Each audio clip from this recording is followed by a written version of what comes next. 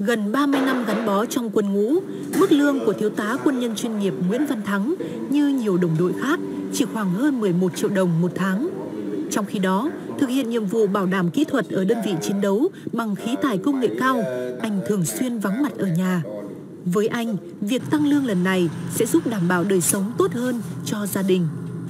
Mức lương đó thì là nó cũng chưa hẳn là để mà nó là một cái đột phá. Thế nhưng mà trong tăng như thế cũng là một cái mà phấn đấu cố gắng của Đảng nhà nước dành cho cán bộ công chức viên chức và lực lượng vũ trang. Đó cũng là cái động lực để chúng tôi ờ, phấn đấu và gắn bó và đấy là cũng là một cái mà để cải thiện cái đời sống của uh, cán bộ công nhân viên chức và lực lượng vũ trang nói riêng.